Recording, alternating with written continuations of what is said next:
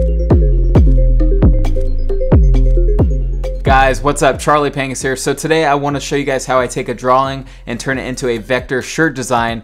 But we're not just designing, guys. We're actually going to think about the garment a little bit more today, okay? What kind of garment and fabric are we going to be printing on, right? That's all the things that are going through my brain um, when creating a design because I think that's important when you own a clothing line to kind of think about the entire picture versus just a little piece which is just designed, right? So we're thinking about the bigger picture today. And I found a really awesome blank from Bella Canvas. They're my go-to wholesale brand because because all their stuff is made with high quality cottons, especially with their heirloom ring spun cotton. And um, they have a bunch of different blends that are just out of this world. So I went with one of their blanks. It's called the 3001. Uh, it's in storm color. It's not too light and it's not too dark. It's kind of in between.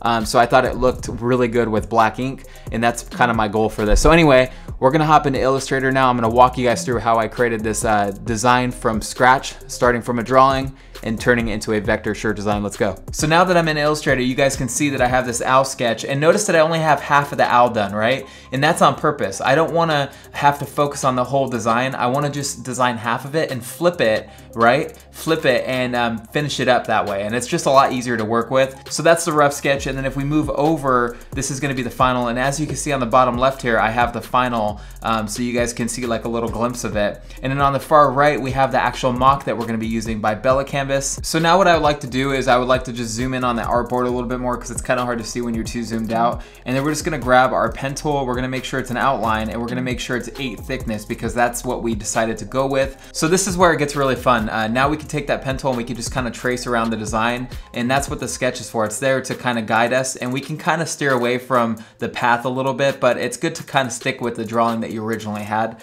uh, because you liked it, obviously, right? You chose it for a reason. So um, we're just gonna start laying down some lines now. So I'm gonna go right here. So as you can see, I'm really trying to follow that path um, as much as I possibly can. Close this off right here. So that's the first part. It's really pretty easy. Um, once you get the hang of it, you'll breeze through this, no problem. Um, and then we can make minor adjustments if we're not happy with it. I think that's fine for this video, so we're just gonna go with it. We have a lot of stuff to do, so we're just gonna go through it kind of. So now we're just gonna do the same thing. I'm not gonna close it off yet, so I'm just gonna click right below the other line that we made.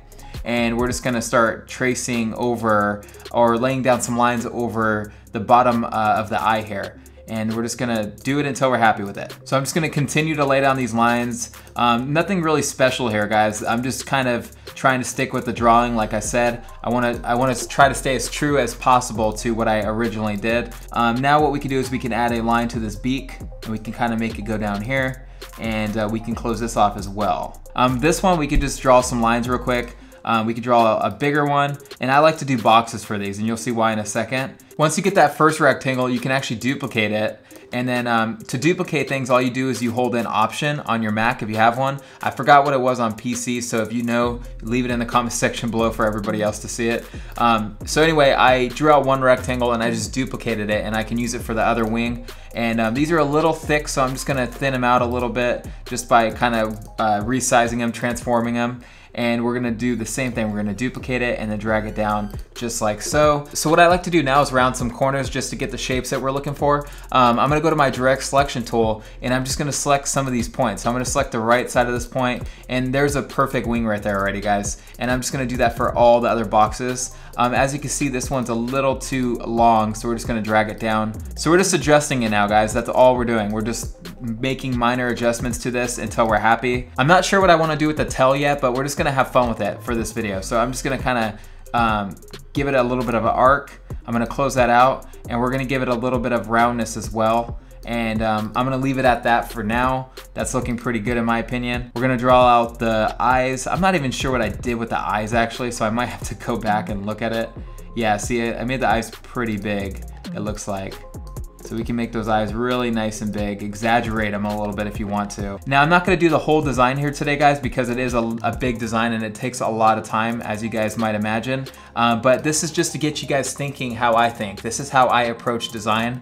Um, and, and, you guys might have a different way of doing it, but this is the way I do it, so hopefully it helps you guys out. So for this part, I zoomed in a little bit. I don't want the top of the eye to show, so we're just gonna take the scissors and cut it real quick. It's actually a really, really awesome tool to use, and you can do some really cool things with it like this. So we're just gonna get rid of the parts we don't want, and we're gonna delete them. So as you can see, we're left with just the eye part now and that's perfect. We just wanna draw one more circle for the center of the eye and um, we can leave it just like so. So that's basically it. Now we have all the line work. The next thing I would like to do before flipping it is just add the feather detail. So we're gonna take the pen tool and kind of make this cool little shape and we're gonna duplicate it and put it on the other ones as well. So once you duplicate it for all the other feathers, you can also uh, do some minor adjustments to it if you're not happy, but I'm happy with it. I don't think it looks bad at all. Uh, so we're just gonna go with it and um, see what happens. So now what I would like to do is just group everything. So from there we can use a reflect tool to duplicate it. So that's what we're gonna do.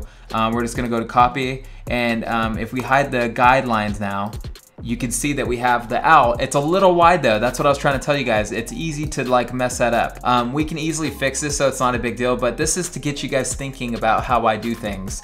Um, for the next parts, um, it's really just adding some um, extra details and all that stuff, so we're not gonna get into that. Um, but I just wanted to show you guys how I kind of do that process. Um, the only other thing that we're missing is the sun on the top, which is really easy. You just add a circle, um, just like this, and then you can finally use the scissor tools to cut it. So from there, I would add the sun rays, and then I would probably go to the tail and I would select the bottom parts and I would round it a little bit, just like so. And then I would add those uh, V patterns to his chest. But that's it guys, it's uh, really up to you what you wanna do with it. Just remember you can easily use the pen tool to create a design. You don't need anything complicated, right? It's really simple. You can sketch something on paper, take a photo of it with your phone, put it on the computer and use the pen tool and have fun with the shapes guys. Simple as that. Um, so now what I would like to do is I'm gonna take this design and we're gonna drag it to the mock and I'm gonna show you guys what it would look like on the shirt. So what I wanna do now is go to my actual owl design that I have over here. We're just gonna select it and we're gonna paste it on top of our uh, model hair.